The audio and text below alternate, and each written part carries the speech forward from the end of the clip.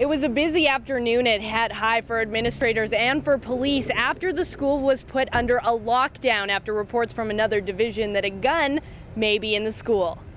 We received a phone call from another school district, school administrator, letting us know that they had received word that a gun may be taken to Medicine Hat High today.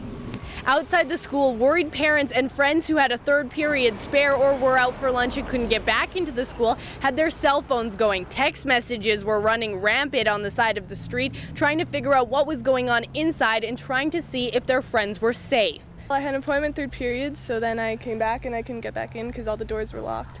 They're just in, in lockdown right now. We have our one son in the office and our daughter's in fashion right now. And basically, they don't really know anything. Basically, we've been hearing it just from the kids outside here. Have you heard from any of your friends, gotten any text messages? Yeah, from my friend in science class. They weren't allowed out and they still haven't ate anything or they've been in there quite a while.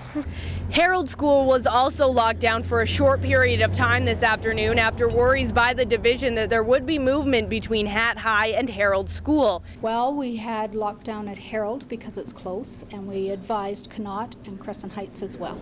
Police are releasing very few details about exactly what happened, but as far as Newswatch found out, no gun was found inside the school, and police are speaking with one individual.